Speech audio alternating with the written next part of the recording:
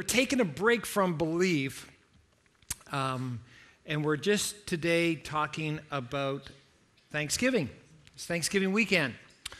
Um, I want us just to look here at uh, our scripture verse for today.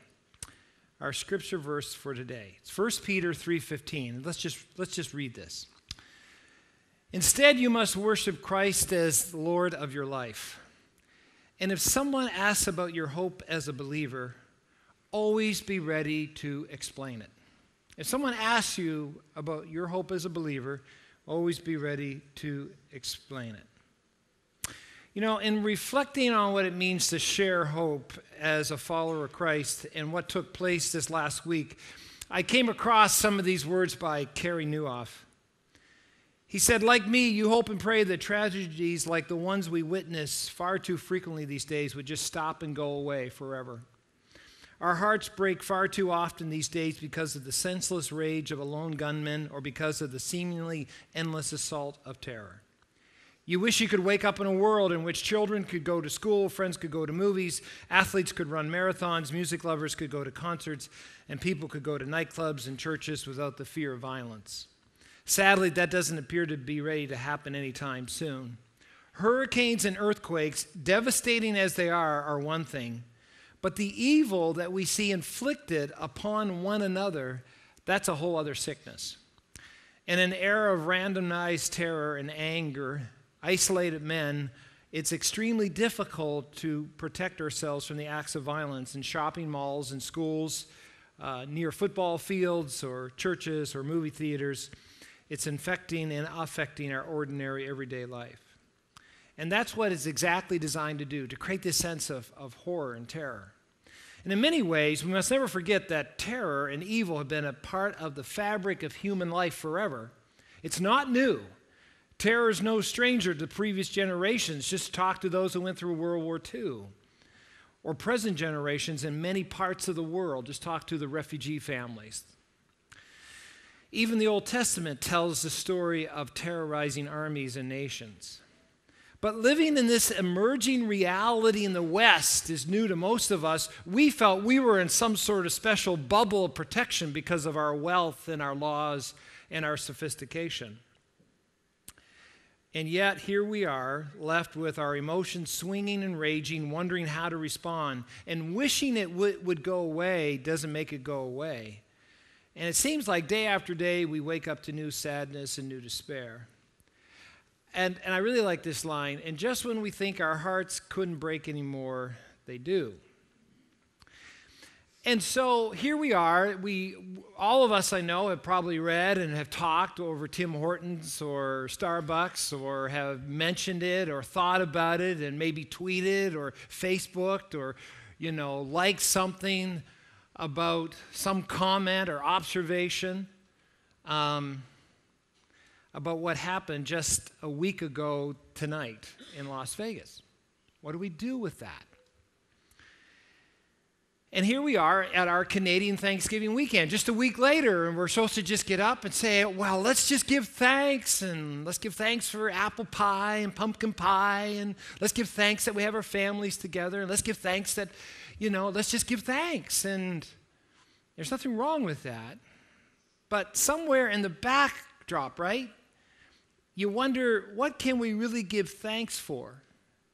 I know for some of us, maybe we're just going to say, well, I'm thankful that I'm safe from that kind of terror, from that kind of tragedy. I, am glad that my family and I are safe, and we'll just keep working at making our family safe because that's, that's only my responsibility. And I have so far escaped the suffering or the tragedy or pain. But, but here, here's the thing we know, right? Um, we know sooner or later, later tragedy in one of its many forms comes our way. Um, I, I, what, what I find disquieting is that for so many of us, our thanksgiving is all circumstantial. As long as our circumstances are going good, bills are being paid, health's good, you know, we have our little circumstance checklist, right? As long as those circumstances are going tickety, tickety, tickety boo, well, we, we're thankful. But what happens when life starts cracking in the hard parts of life, the evil parts of life, the tragic parts of life, the parts that break people's hearts. And we start to wonder well, now what can we give thanks for? It's against that backdrop of everything that breaks our heart that I want to, on this Thanksgiving weekend, talk about what matters, I think, most, and that is called hope. I, I want to say that we can give deep and sincere thanks for our hope in God. And I think, I think when circumstances are not going your way, this is where your anchor point is for Thanksgiving. It has to be do you have a hope? Do you have a hope? Now, in our message today, uh, I, am uh, wanting to play two songs for us to listen to. So, for those of you who enjoy music, um, this is a moment we're just going to listen to our first song on hope, and it's actually called I Have This Hope, and it's by, um, uh, sung by a worship team called 10th Avenue North. Let's listen.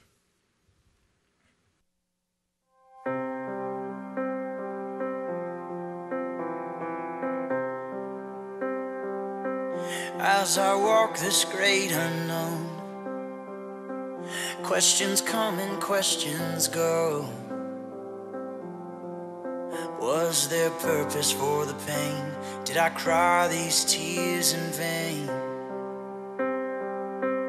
I don't want to live in fear. I want to trust that you are near. Trust your grace can be seen in both triumph and tragedy.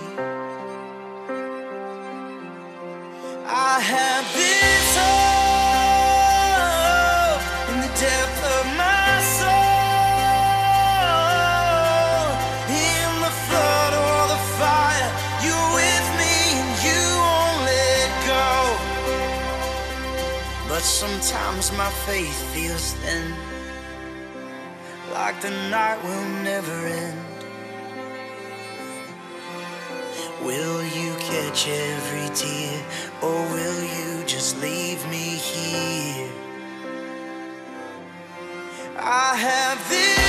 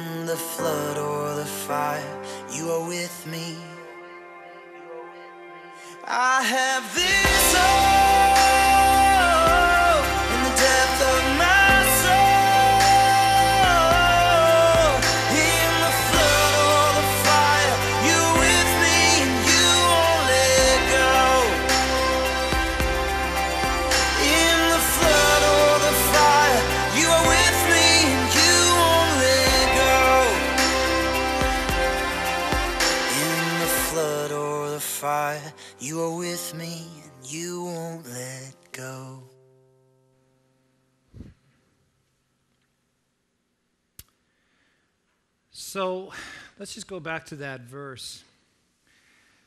And what we're pondering just for a moment is if someone were to ask you about your hope as a believer, would you be able to explain it? Would you be able to explain that hope that's in the depth of your soul? You know, I know we're in a culture in which we know there are many different views to what is ultimate truth, what is our ultimate destiny. Um, you know, there's the materialist who simply says there's nothing but this universe here, and when you're dead, you're dead. There are other great world religions that describe what the divine is. Um, and there's that, what we would call the, you know, the elite of, the, of our society that would probably look at the story of Christianity now and say it is quaint, it is cute, and it is misguided. And because of that, we may acutely feel a pressure not to be able to speak about our hope that we feel in the depths of our soul. But the Bible here says it very clearly that if someone says, Well, what hope do you have? You know, I, I can't help but think that just this past week and in the ensuing weeks, as people talk about whether it's the Vegas shooting or the incident that happened in Edmonton or the issues around the world or the struggles, or even as people go through their own personal tragedies and struggles and issues and pain, at some point, people are going to say, So, how do you get through? How do you make it? And everybody has answers, right? And as a believer, the question is can you share, well, here's how I find my way through deep pain and deep tragedy? Here's my hope. What, what would you say? Well, obviously, because I'm the one doing the most talking here, and you're doing the most of the listening, which I appreciate, um, I'm going to hopefully talk about our hope as a believer that will hopefully give you some words to say. So I want you to be listening, and I want to try to make this as simple and as plain as possible. If someone were to say, Dave, in light of everything that's happened recently, how do you get through? What's your hope in the midst of all, all the uncertainties, all the pain? I'd say, well, it really comes down for four words for me. My hope is Jesus.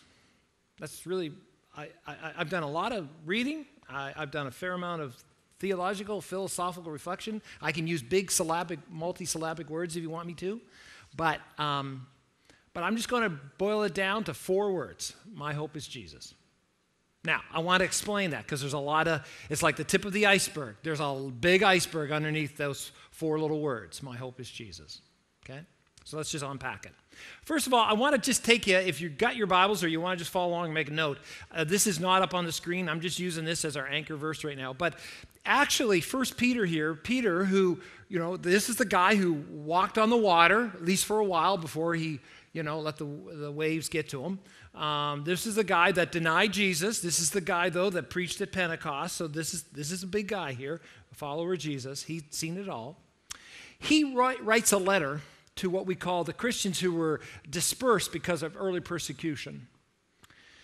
And in this letter, this first letter Peter, as he's talking about his about faith in Christ, he in the first chapter, verses 3 onward, this is where he writes. I just want to read part of this letter of his. Listen to this. Listen very carefully.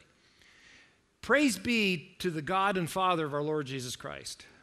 In his great mercy, he has given us new birth into a living hope. There's that hope thing. Through the resurrection of Jesus Christ from the dead, and into an inheritance that can never perish, spoil, or fade. This inheritance is kept in heaven for you, who through faith are shielded by God's power until the coming of the salvation that's ready to be revealed in the last time. In all this you greatly rejoice, though now for a little while you may have had to suffer grief in all kinds of trials. Well, we can understand that. These have come so that the proven genuineness of your faith, which is of greater worth than gold. Ever think about that? You can think about your RSPs and your savings accounts and your Visa cards, but your faith is of much greater worth than that. Which eh, all these other material blessings, they perish even though refined by fire, may result in praise, glory, and honor when Jesus Christ is revealed. Now, and then I love how he wraps this part up. He says, Though you have not seen him, well, that's just like me, you love him. And even though you do not see him now, you believe in him and are filled with an inexpressible and glorious joy. For you are receiving the end result of your faith, the salvation of your souls. Now, now that's a, that's if I was to sum up what Peter said, Peter's basically saying, my hope is Jesus, right? You see, hope is not about what you have or where you live or why you get up in the morning. Hope ultimately is about a who.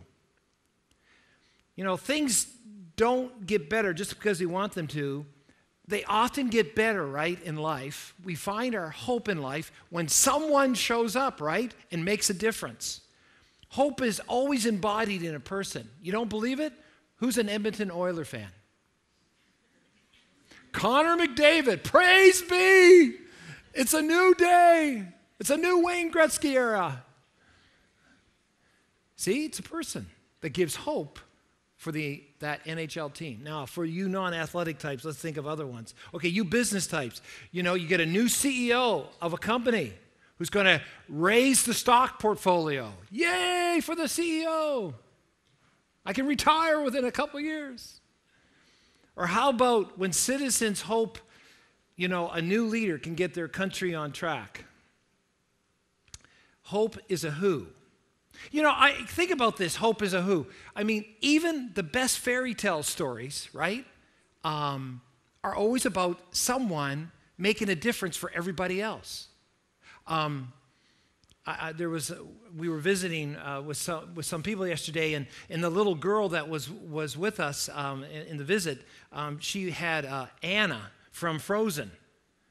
And, uh, you know, I always think in that, sh- in, that, in that fairy tale story of Frozen, for those of you who've watched the movie, you don't, just go this afternoon and watch it.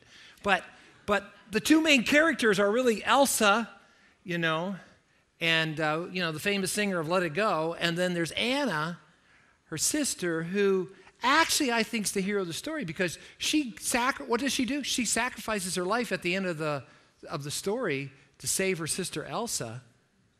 And by sacrificing her life, she actually changed everybody's life in the kingdom. Isn't it funny how one person makes a difference? You see, so when I say my hope is in Jesus, I'm saying he's the one person who makes the ultimate difference. That's what the Bible says over and over again. See, hope always depends upon its object. You know, some people have really wishy washy thinking when it comes to spirituality. They say, well, well, how do you press on? Well, I just hope. I just, I just get up in the morning and I just say, I'm hoping and you want to say, okay, let's just dial in the brain here for a second. Hoping in what? Butterflies? Hoping in the wind whispering through the fall leaf trees? What, what are you hoping in? I like this quote I came across Strong faith and hope in a weak branch is fatally inferior to weak faith and hope in a strong branch. Did you get that? What are you hoping in? Hoping in your family? Hoping in your finances? Hoping in your fitness? Or are you hoping somewhere else? See, why is my hope in Jesus? Well, well, you may say, okay, so I get this, Dave. You got your little phrase in my head now. My hope is Jesus. But why? Why Jesus? And, and I just want to say, for Christians, this has been our message and our claim for the last 2,000 years. Jesus rose from the dead. Now, now, here's the thing. I want you to listen really carefully. And if you're wrestling with Christian faith today, if you really want to get serious about it, or you just want to, like, if you just want to play games, you know, if you just want to be religious, go, go somewhere else. Really, serious. But listen to this. If Jesus rose from the dead, then you have to accept all that he said, okay? If he did. If he didn't rise from the dead, then why worry about anything he said? Blow him off. He's just a dusty character from history. The issue on which everything hangs is not whether you like his teaching or whether it cramps your lifestyle or your morality or your ethics. No, no. The question is did he or did he not raise from the dead? See, it's not enough for the skeptic or cynic to simply dismiss Christian teaching about the resurrection of Jesus by saying it just couldn't have happened. He or she, that skeptic or cynic, must face and answer all of these questions. Why did Christianity emerge, emerge so rapidly with such power? No other band of messianic followers in that area concluded that their leader was raised from the dead. Why did this group do so? No group of Jews ever worshiped a human being as God. What led this group of Jews to do that? Jews did not believe in divine men or individual resurrections. What changed their worldview virtually overnight?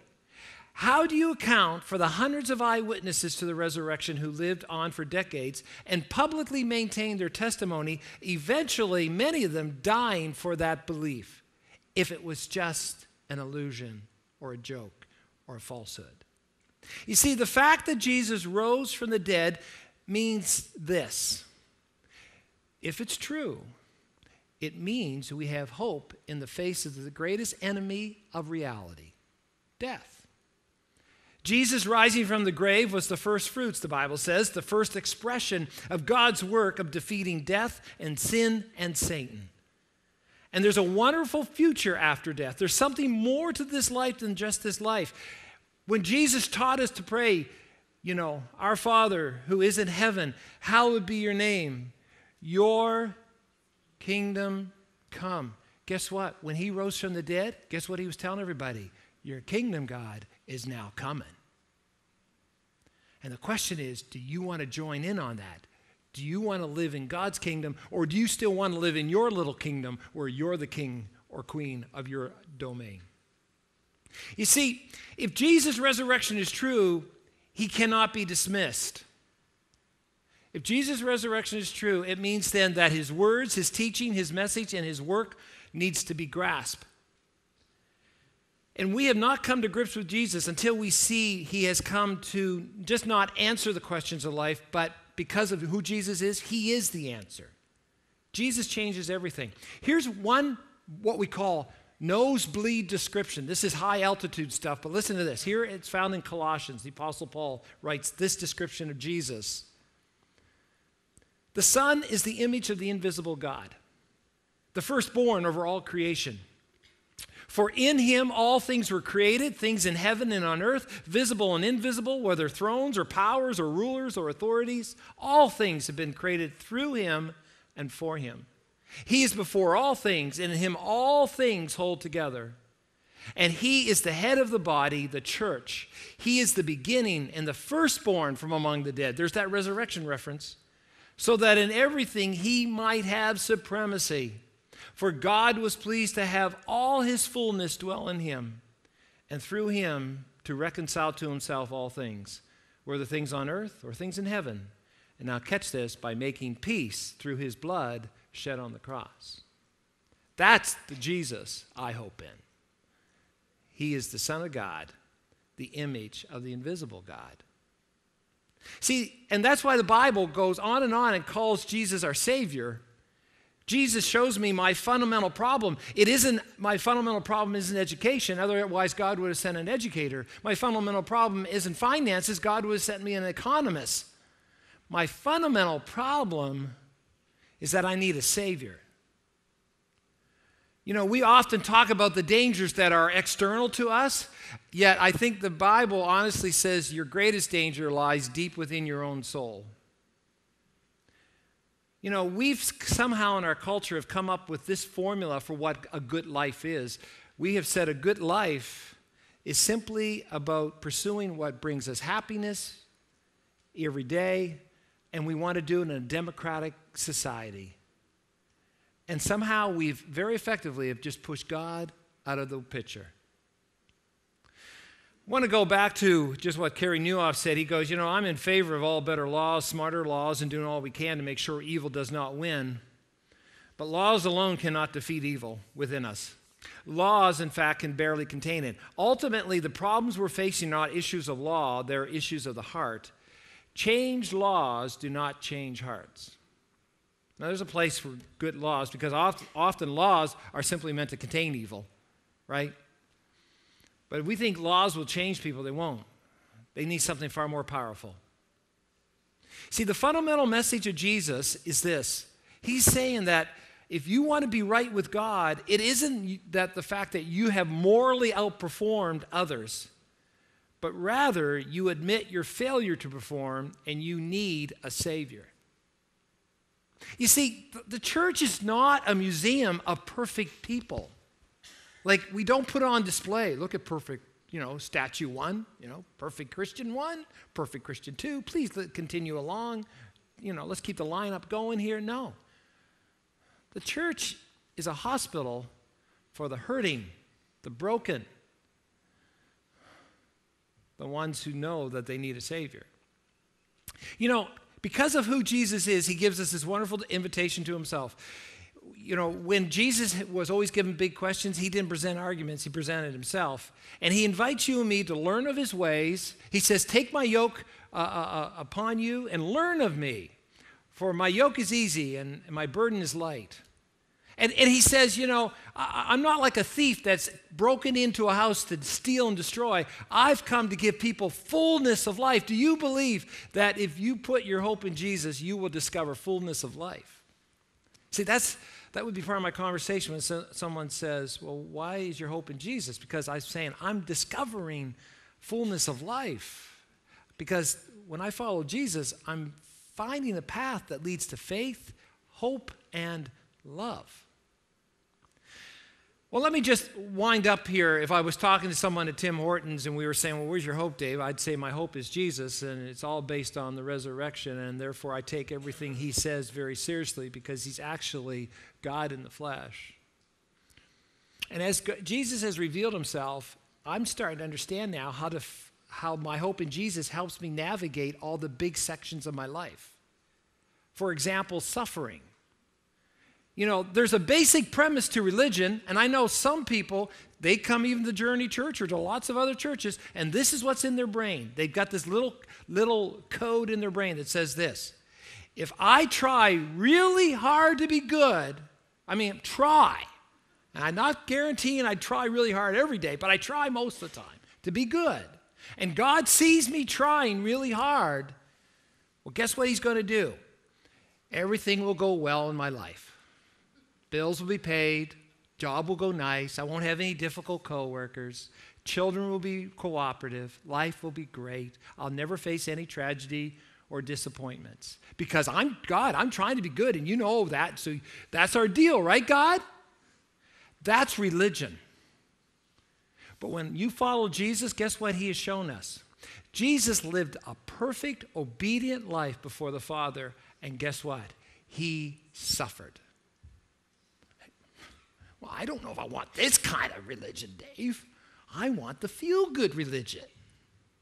Hmm. Here's another way my hope in Jesus changes everything. Not around, just not around suffering, also around significance. You know, we live in a world that tells us when we go to science class that you've come from this sort of chaotic evolutionary soup that was purposeless. And, and the thing is, the thing I struggle most with the evolutionary teaching is the philosophical implication of this. That because you came out of chaos, that means that you really have no significance and worth. Everything we do here ultimately is just going to spin back into a dying sun. So, really, what does it matter what we're doing? Just getting through each day? Sun's going to burn out eventually. Man, you say, man, I would not want to have coffee with you.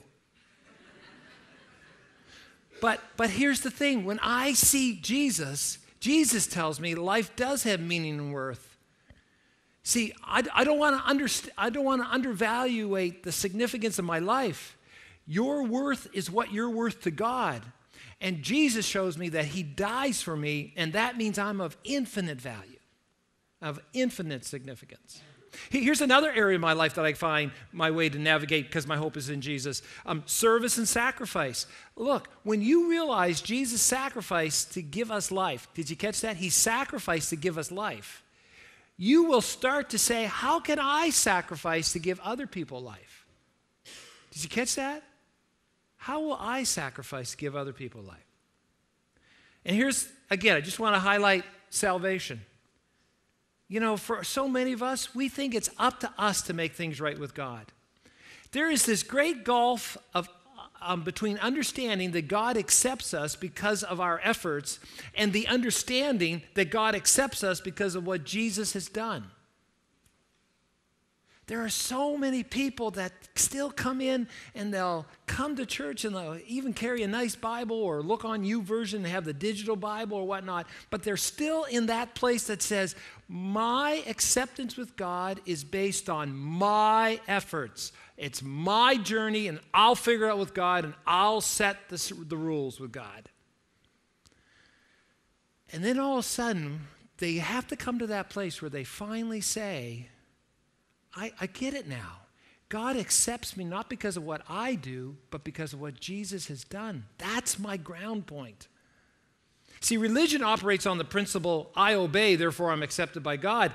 But the operating principle of the gospel is I'm accepted by God through what Christ has done, therefore I obey. You know, one other area when I think about finding my way through with my hope is in Jesus that gives me strength and navigation points is this it helps me understand myself. When I look at myself, I have what I call a profound understanding when I look at Jesus. Because when I look at Jesus, I understand this I am more sinful and flawed in myself than I ever dared believe. I was so bad that Jesus had to die for me. But I was so loved, Jesus was glad to die for me. You know, we are more loved and accepted in Jesus Christ than we ever dared hope. Isn't that something? I have to deal with my profound brokenness, but my profound sense of worth that Christ gives me. Now, I just will say it again. If I was at that coffee shop, someone says, Where, How are you getting through this, Dave? You know, do you, do, you, have a few beers in the fridge? Is that how you get through? Do you, oh, are you looking forward to that, you know, marijuana law there that's going to break free here in July on whatever?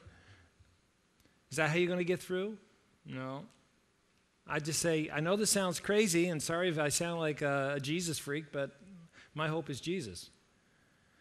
And I know that there would be people that you know, your own friends, maybe at school or at work, or even in your family, that would mock you about that. And they would be cynical about this hope is Jesus. Can I just say something to all the cynics out there? Or if you're talking to a cynic, say this, I just ask them this question Cynicism lives only by refusing to apply the same razor edge to itself as it does to all else. Are we ever cynical? Ask the cynic this Are you ever cynical about your cynicism? You know, I, I remember saying this before, but I love this quote by Archbishop Desmond Tutu, who said he was asked if he was optimistic after apartheid broke down in South Africa. He said, I'm not optimistic. He said, No, uh, quite differently. I'm hopeful. In fact, I'm a prisoner of hope. We all need hope. You know what, what I find most disconcerting with people? Is that if you really ask them where their hope was, they actually are living, uh, and I'm kind of using a Neil Postman quote here um, quiet lives of no hope quiet lives, his quote was quiet lives of desperation. But, but I want to just extend it and say, I think, I, I think people are saying, well, the only hope I really have is me. I'll take care of me. I'll take care of my family, maybe a few of my friends. I'll do what little good I can. And the only one you can really depend on at the end of the day is me. And I think a lot of us go there, if we're honest. We all think it's all up rather than saying, wait a minute, my hope is in Jesus. That's where my fundamental ground is. That's ground zero for me. See, hope has to be more than a word for us. Hope is the spirit is to the spirit what oxygen is to the body. Without it, we die. When a team loses hope, we know the game is over. When investors lose hope, the stock market tumbles. When a patient loses hope, death is crouching at the door. But here's the thing when our hope is found in God, we can always give thanks. My hope is Jesus. Well, I said there's going to be two songs. Um, uh, we're just going to take this time to listen to a song by MercyMe called I Have This Hope. And, uh, and then we're going to let uh, Kevin come up and just have a prayer ministry time, and, and, and we'll come to the end of our service.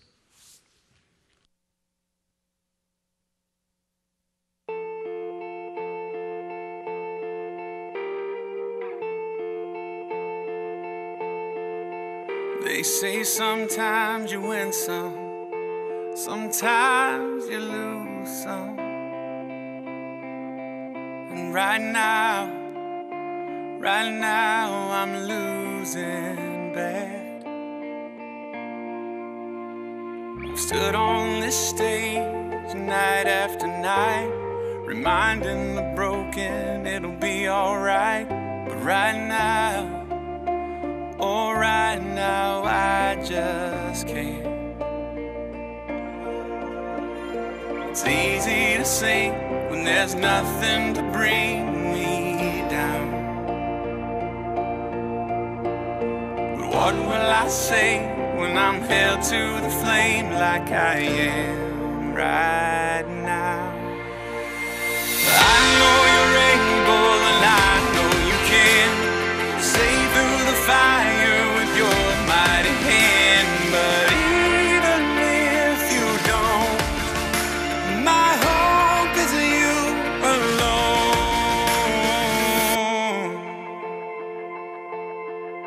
They say it only takes a little faith to move a mountain. Well, good thing. A little faith is all I have right now. God, when you choose to leave mountains unmovable, oh, give me the strength to be